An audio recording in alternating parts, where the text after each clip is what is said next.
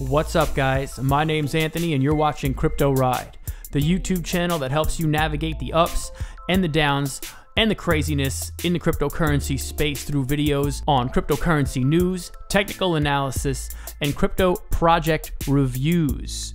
And today I'm going to try and give everybody a little bit of perspective on Chainlink. We're to try and figure out where we are, and I'm going to talk about this falling wedge chart pattern that I've discovered we're going to look at Chainlink, and then we're going to also compare that to the altcoin market cap as a whole. So stick around until the end of the video. Be sure to give this video a like and join our community by subscribing in the bottom right corner of your screen. Now, it's worth noting that I've actually switched over from CoinMarketCap to CoinGecko over the last couple days, and I've been really liking this website. In fact, I'm thinking about making a separate dedicated video kind of explaining why I like it better.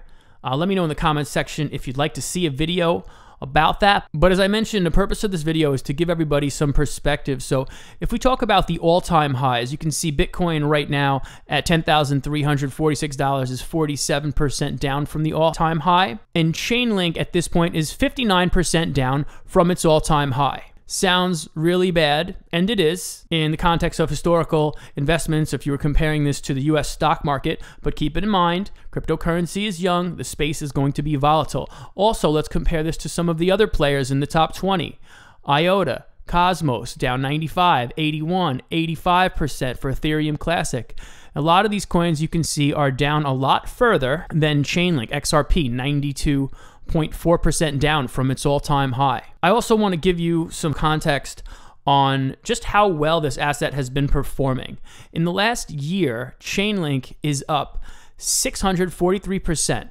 And now that's trading at $1.80, which I know if you bought high, if you bought in that 3 or $4 range, that it seems like we're really getting beat up right now. But in context, we're up 643% on the year if you've watched any of our other Chainlink videos, you might have realized that we're using the Coinbase chart, but one of you guys commented in the comment section reminded me that it doesn't provide as much historical data as we would really like. So from now on, we're going to be using the Chainlink to Tether pairing on the Binance chart when we look at support and resistance lines and overall trends. But as you can see, I've got these two lines coming down, and they're these two converging lines, and they're descending. And I was doing some research on this, and I realized that this is called a falling wedge chart pattern. But even though this chart looks really bad at a glance, this is actually a reversal pattern. So what's that mean? It means once this move plays out, it is likely that the price will rise, believe it or not. So there may be light at the end of the tunnel, and I'd like to talk about this falling wedge a little bit more with you and just kind of educate you if you're unfamiliar with the pattern. If you already know what a falling wedge is, you might want to skip forward a minute or two to the next section of the video. And this is just from stockcharts.com. The falling wedge is a bullish pattern that begins wide at the top and contracts as price moves lower.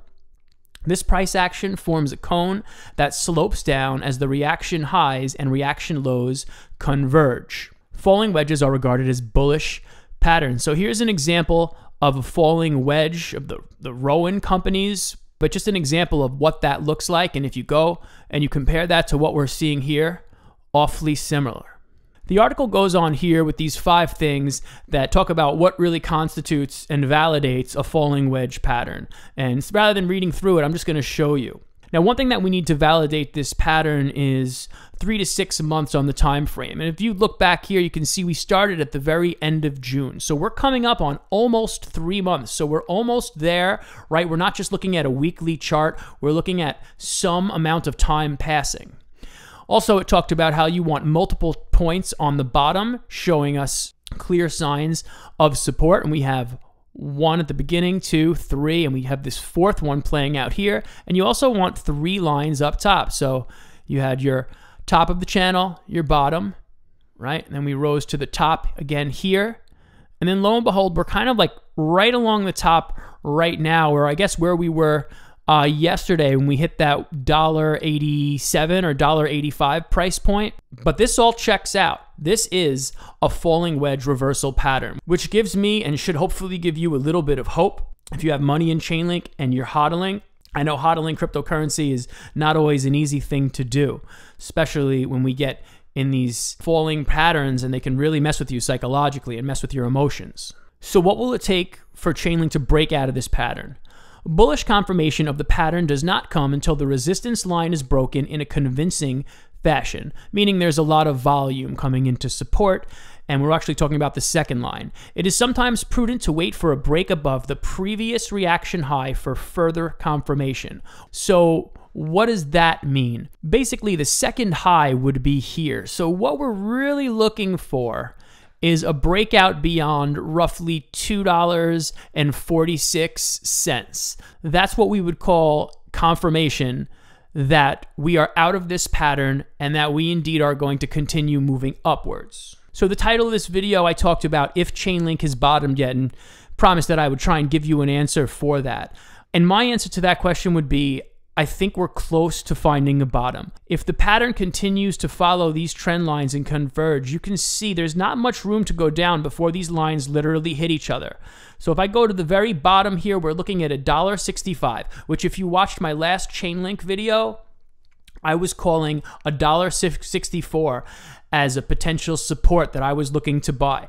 For the record, I have not bought any Chainlink since the last video. Do I want to own more? Absolutely but I'm hoping to see that level. And I'm comfortable enough with my position size that if I don't see it and we end up going up back to 250 and beyond, then oh well, I missed it and that's okay with me.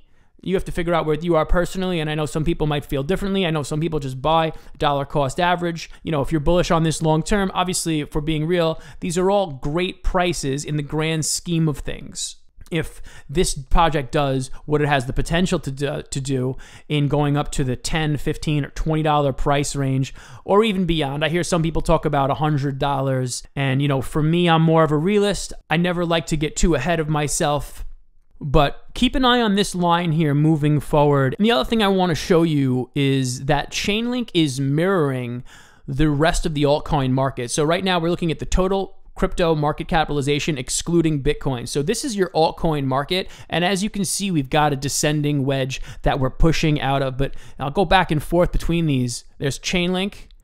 There's the entire altcoin market. So you can see Chainlink really is mirroring a lot of the other altcoins. Whereas a couple months ago, especially when this breakout happened and it's really this parabolic move, it wasn't doing that. But now, of course, it's mirroring a lot of the alts but for those of you guys wondering when alt season might be, again, we're looking at this second line. So if we see this price break out to roughly let's say $93 billion or $95 billion in the altcoin market, then that could be a sign that we're this is a true breakout and that alt season is happening. I don't think that'll be today or tomorrow. I think we've got to see Bakkt come out. We have to see a lot of money come into Bitcoin from the institutional investors, which will hopefully awaken another wave of retail investors like the one we saw at the end of 2017. And when the retail investors get in, those are the people that are going to go down the rabbit hole, in my opinion. This is just my opinion. Remember, I'm not a financial advisor. I'm just a cryptocurrency enthusiast and someone who shares my thoughts with you guys I think those retail investors like you and I, if you're watching this video, you're probably a retail investor. Um, we're going to be the people who go down the rabbit hole and just say, what is cryptocurrency? Have that awakening that you probably had when you first discovered Bitcoin or cryptocurrency as a whole and realize it could potentially be a whole revolution, like literally a financial revolution. And again, this video I mentioned perspective um, yeah, we are potentially at the beginning of a financial revolution. And no one has a crystal ball. No one knows what the global economy is going to do, but things are getting a little bit sketchy. In Argentina, they now have currency controls and hyperinflation in Venezuela, and we have inverted yield curves in Germany. So there's a lot of crazy things happening right now, but cryptocurrency could be a very vital part of the world's future.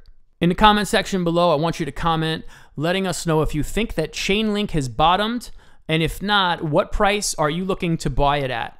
As always, I also want to thank our new and returning subscribers.